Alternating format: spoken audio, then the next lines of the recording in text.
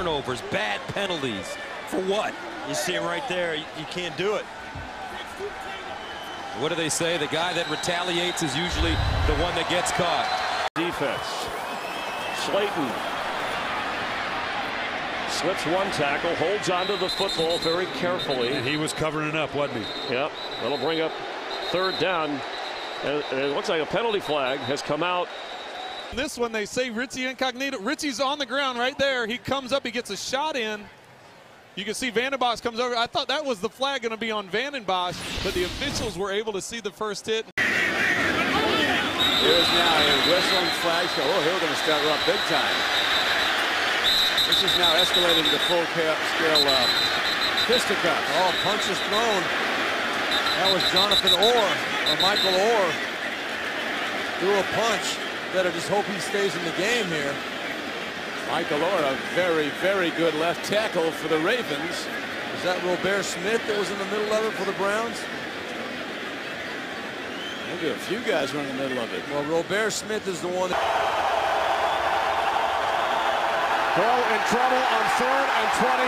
Down he goes. Back at the 20-yard line. Ray Edwards with the sack. And then a late shove to the left guard, Rob Sims. Jared Allen now involved with the quarterback, Shaun Hill. This gonna Shaun Hill getting in there, huh?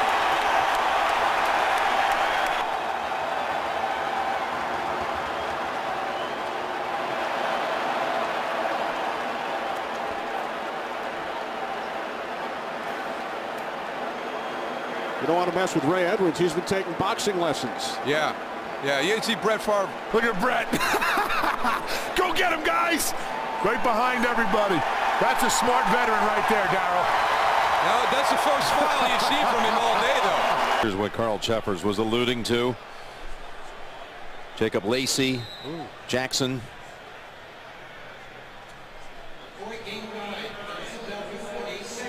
There's a lot of action going on there. Yeah.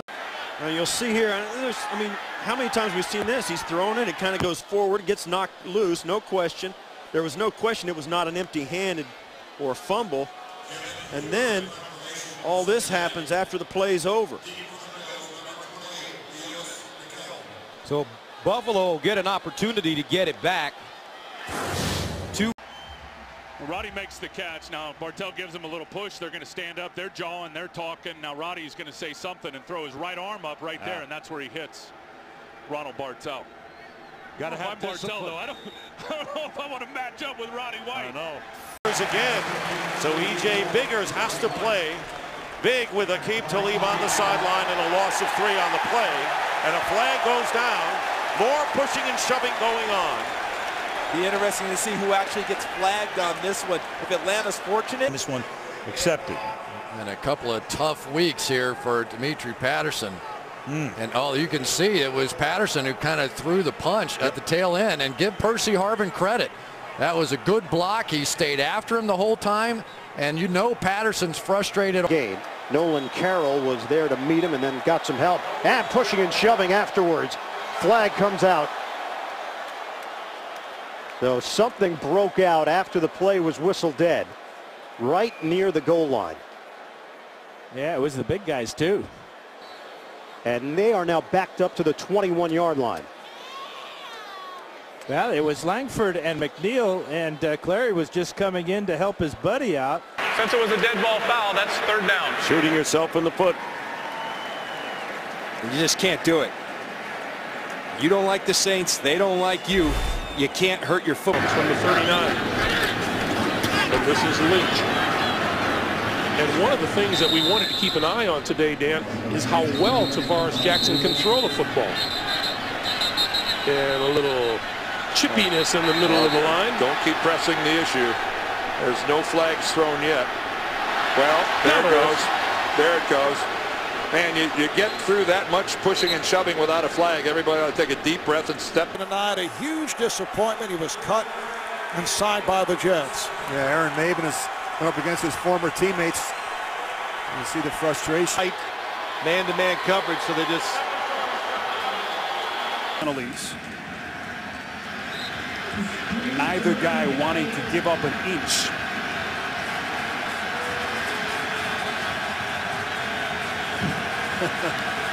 Couple of love taps. Back to the ground game. And more that head on by Erin Henderson as Brown is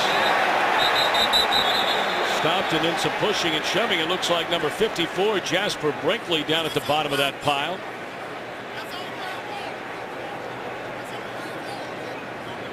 And there is a flag down and Antoine Winfield saying it's against the other guys. Flacco with time. Going to throw over the middle. Intercepted. Picked off by DeMeco Ryan. And Ryans is going to be whistled down at his own 44-yard line. Oh, now we've got we've got another little fracas going on. And there goes the flag. And the fracas continues.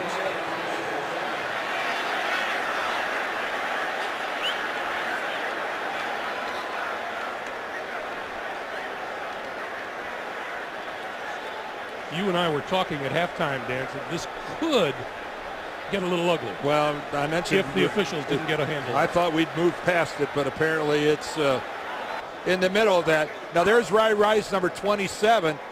Oh, and he comes in from behind and runs right into the back and almost looked like he stuck his helmet out and tried to almost a little headbutt. Yeah, and Logan Mankins got a little bit of a late block, and then Mankins just backed off and said, what? The last 26 possessions. Pryor lost it to the end zone. Intended for Streater, who was well covered. Cason was with him step for step. Now we've got a tussle going on, and a marker is down as well. It's Mike Goodson, the running back, who stepped in on pass protection that got tangled up. And now we've got multiple flags all over the field. The first flag was in the end zone for pass interference. As Rod Streater tried to go up and catch that football. And then in the backfield after the play was over, and here's and there you see it. He's got his hands up, and then neither guys wants to let go. That's Takeo Spikes, who's a, a guy who's played over a decade as middle linebacker. Neither one of those guys is is number 51 and number 25 have been disqualified. Wow. You see Takeo Now Spikes you gotta, is very you gotta, unhappy. You got to calm down. And I'm surprised that those guys got ejected because usually you have to throw a punch or do something like that to get ejected. Now Takeo Spikes might add to it. And I, and I agree with both players. Now that's a tussle, no question they lost their tempers, but I didn't see any ejectionable, ejectable offense.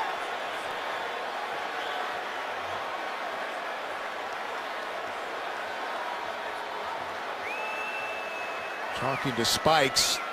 And I and Takeo Spikes in his 12th year, he doesn't get too many more seasons to have one end in this manner. And I don't and I really didn't see anything on the replay that warranted an ejection unless one of them made contact with an official in the melee or something like that. And Takeo Spikes may not cool down till March.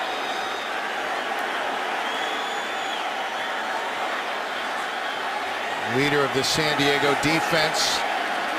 And again, was trying to reach 100 tackles for the season for the 12th time in his 15-year career. Goodson goes off fairly quietly. Let's pick up what happened. Well, that's the beginning of it right there. And it's just, you know, nobody's going to give up. And, and see, I don't nobody's think uh, throwing Spikes, punches. yeah, Spikes Nope. was not being aggressive there. Neither one of them. I mean, they're both pushing each other on the face mat. And right there, okay, I don't see why anybody got ejected because of this. And that, I, I mean, I can see why they, if they're not going to let up, then you throw the flag and they offset. Okay, so why did anybody get ejected there, let alone both guys? I think that's an overreaction by the officials. Takeo trying to get the crowd fired up as if that's Inside the head. Looks Both like going ahead of it. had a handful of Roddy White's face mask and then a shove. Roddy White came back in. Five accepted penalty. Third and 14. Denver with a 7-0 lead under six minutes to go here in the first. Manning to the sideline, and Moreno is stood up. Four yards. And some pushing and shoving after the play between Branch and Franklin.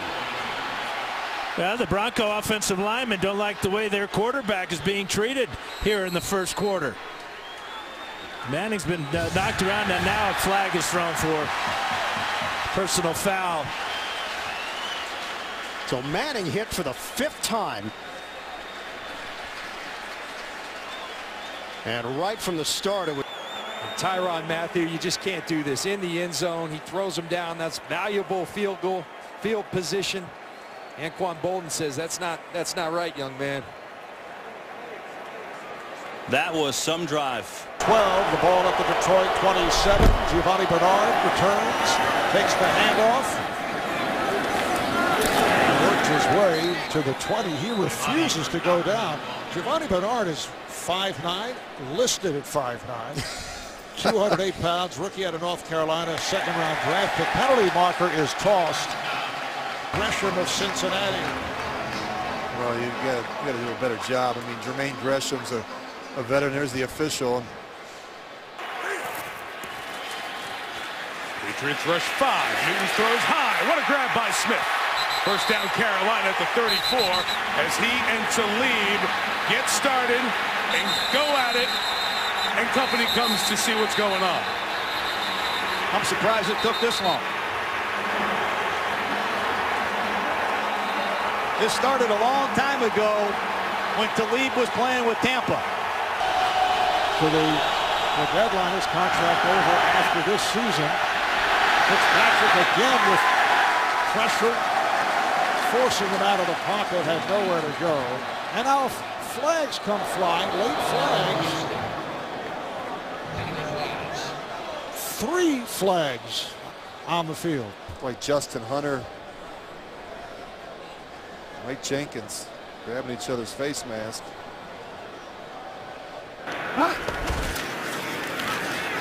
Carson Palmer gets time, and the pass is caught by Jim Dray, the big tight end.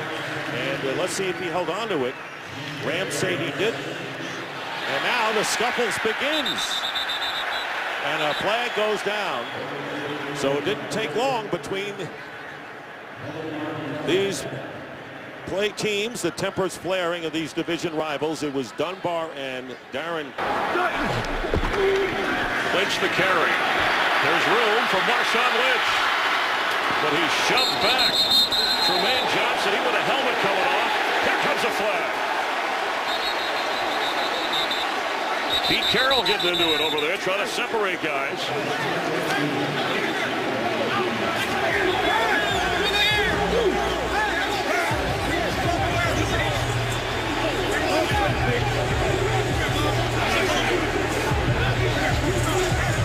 Well, once Trumaine Johnson's helmet came off, Marshawn Lynch has got to let go of his face.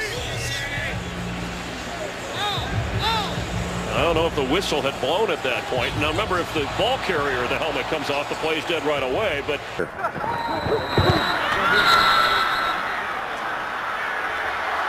Uh-oh, hold on a minute. Now flags are everywhere as Chris Clark is exchanging some words and shoves with Dontari Poe.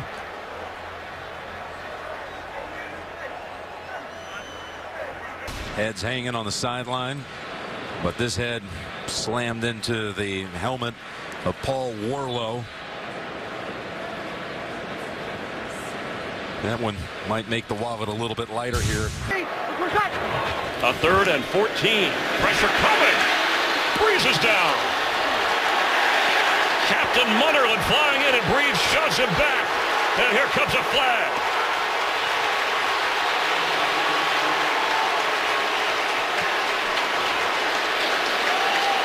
I don't think Drew Brees liked or he took exception to Captain Munnerlyn dumping him after he's sacked Personal here. foul, unnecessary roughness, number 23 defense, driving the quarterback into the ground. 15-yard penalty, first down.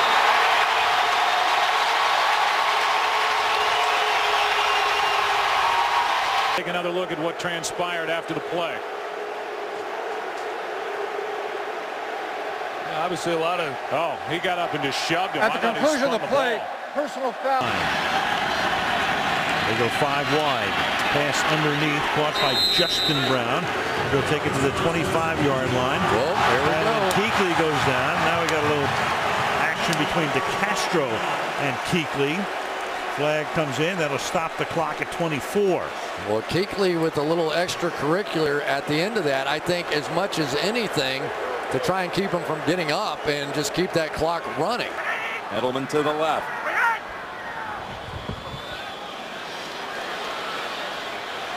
Brady still has it, and now has to throw it away. And look at all the flags that are out now. Antwan Barnes kind of blew up the play for uh, that Patriot offense. Barnes came barreling in. Bell, big hole. Short of the first down, it appears. And whatever happened in the bye week, the Saints defense certainly looks a little bit better than what we've seen through the course of the first few games. Now we have a whistle and some extra shoving going on. After the play, personal foul, unnecessary roughness. Defense number 76, float ahead, 15-yard penalty. Being a dummy after the play is not one way to do it. And Akiem Hicks, who's been playing better, is no better than this.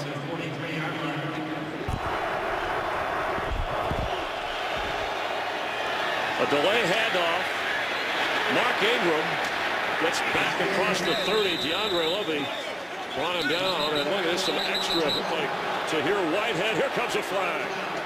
And they're still reaching and grabbing. Sean Payton in there talking to some of the Lions players. The first down. Well, they say it's not over till the whistle, right? Well, it was Graham right there. T.J. Graham. Actually took knocked over literally. photographer. It's like a boxing match. Him and Gilmore over there wrestling. Stone, a third straight week. Ten different players have gotten starts along the line. That's a nice throw, just sitting down in a hole in that zone defense, and then coming in and shoving Roman Harper looked like Antone Smith. And Smith may get the penalty. You talked about this last week, David. We'll wait and see. Ingram inside the 20 and run out of bounds inside the 10 down to the seven yard line. And Taylor doing some pushing and shoving down there along the sidelines with Joe Morgan. Well, there are a lot of guys trying to get in there and get people separated, but now a few more of them get tangled up.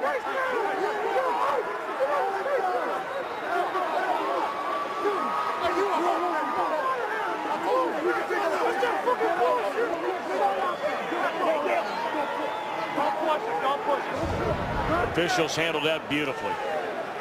See what happens here. Looks like Mitchell grabs a hold of Ingram's face mask. Then the hit by Taylor. And then Robinson came in. Morgan shoving Taylor. Headbutt the other way. Bushi 75. Way behind the action. Starts with gonna. They're offsetting dead ball personal fouls on both teams. All right, here we go. It is Asiata, and he is in. We are tied at 28. And now more pushing and shoving. Flags are thrown.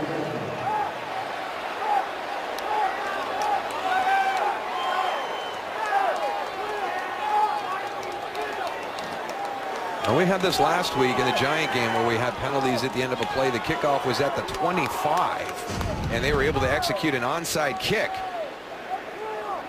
The return team's 25. Just your traditional lead there to the weak side. He's broken the plane and then tempers flare right here. Olivier Vernon kind of caught on At top of Matt Asiata. of the extra point, number 50, personal foul, defense, open-handed hit to the face. This 15-yard penalty will be enforced on the kickoff. Well, as you mentioned, Vikings, or excuse me, the Dolphins, the least penalized team in the league. Look at this. First the replay.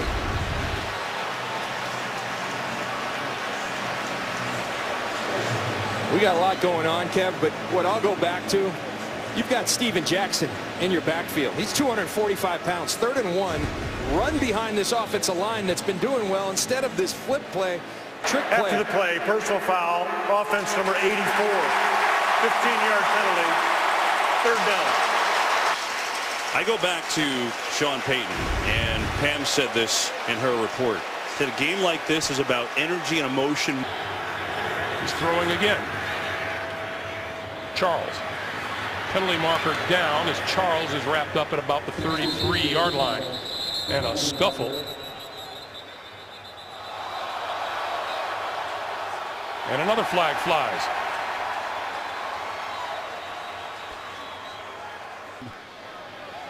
Inside the 10. Right here.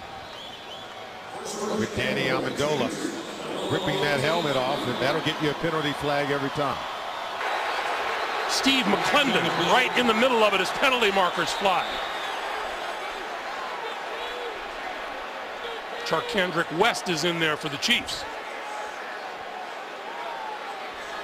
While the play was happening on the far side of the field, there was some additional hitting on the near side. Our referee today is Walt Coleman. But then on the near side of the field, here's Charcandrick West going at it with a much bigger dude. James Harrison. That if you're going to pick all the all the guys in the play yard in the playground that you're going to go after, that's uh, James Harrison's probably not the one that you want to go after. His team for the rest of the way. He'll throw, and that is complete across the 25 to about the 27-yard line. A little extra added pushing and shoving on the sideline. A.J. Green taking offense.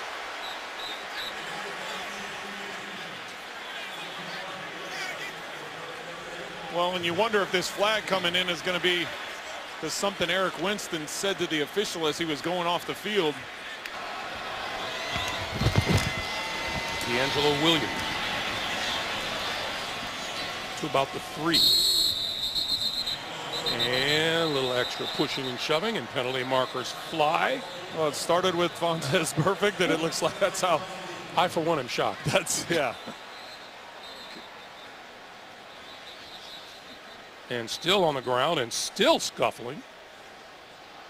Well, now it's DeCastro and Gilberry, it looks like. There you see him right there with Rey Maualuga. When you're getting handled right here, you got to hold your composure. Football's a humbling game. There's many times where I got my rear end kicked, and I don't need to do that. You won that battle. I'll be coming back.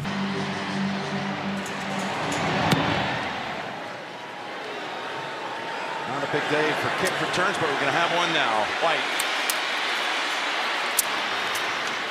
Nice run back to the 29. Let's bring in Gene Steratore on that offensive pass interference on the two-point attempt after we settle this little scuffle and a flag.